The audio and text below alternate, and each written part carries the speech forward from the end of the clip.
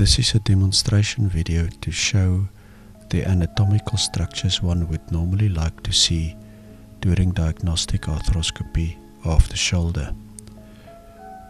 Normally the shoulder is viewed from posteriorly to anteriorly initially and the scope is usually then placed anteriorly and viewing backwards to the posterior direction to see the posterior structures.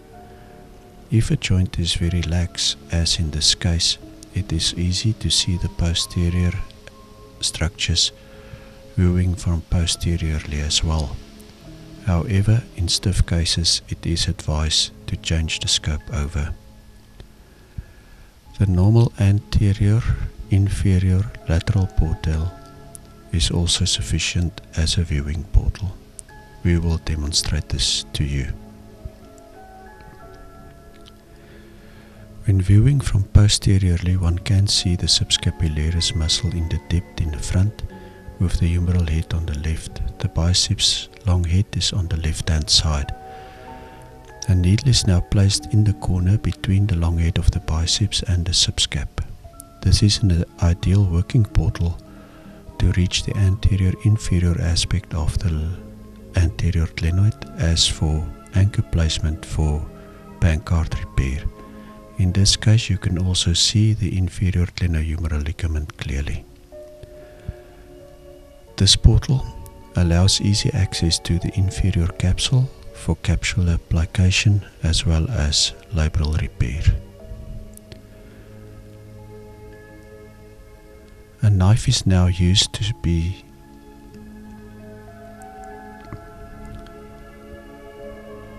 moved down the needle to create a soft tissue portal at exactly the correct point on the inside of the capsule.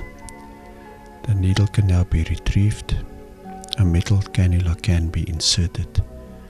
This metal cannula can now also be used for scoping backwards by simply changing the scope from the back to the front.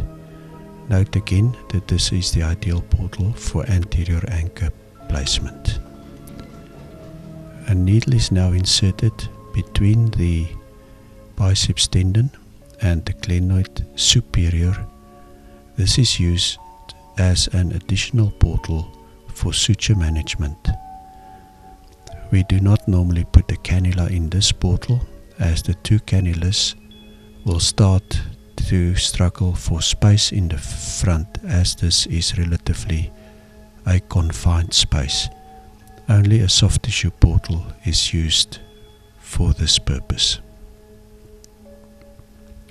The superior aspect of the biceps insertion can now be seen. This is where one would normally see a slap lesion.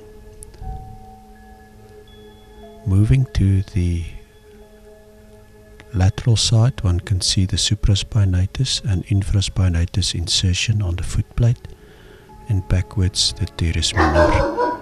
This is the bare area now with the typical pitting found on the bare area this pitting can be seen on ultrasound and is sometimes mistaken for an articular-sided tear. The posterior capsule is now visible, the posterior labrum is visible, as well as the center portion of the glenoid.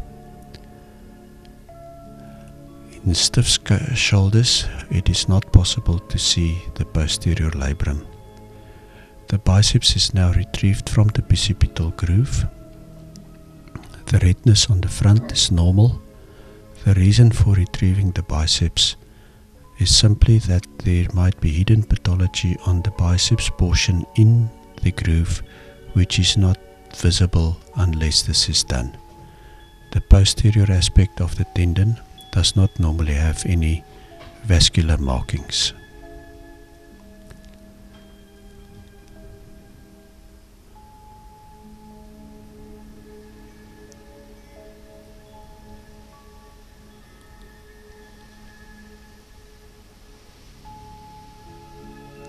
With the scope inserted anteriorly looking backwards, one can now see the posterior aspect of the glenoid, the central portion of the glenoid, as well as the posterior capsule.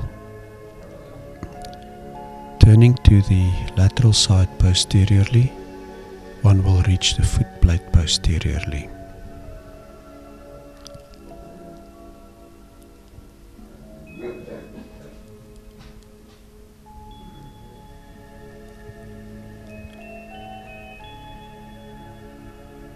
In this posterior aspect, it is the insertion of the teres minor on the foot plate.